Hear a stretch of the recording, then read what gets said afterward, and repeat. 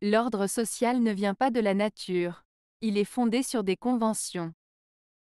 Jean-Jacques Rousseau Cette citation de Jean-Jacques Rousseau suggère que l'ordre social, c'est-à-dire la manière dont la société est organisée et gérée, n'est pas quelque chose de naturel ou d'inné mais plutôt une construction humaine qui est fondée sur des accords ou des conventions établies entre les membres de la société.